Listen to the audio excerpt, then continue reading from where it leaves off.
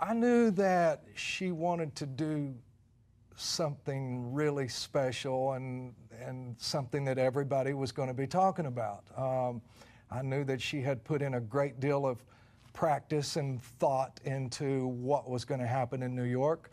Again, it became that moment of a singer, songwriter, entertainer finding that special moment. And again, sometimes controversy lies in that special moment. I've never known any great artist that was lukewarm and the fans were just in the mm. middle on it. You either love it or you hate She's it.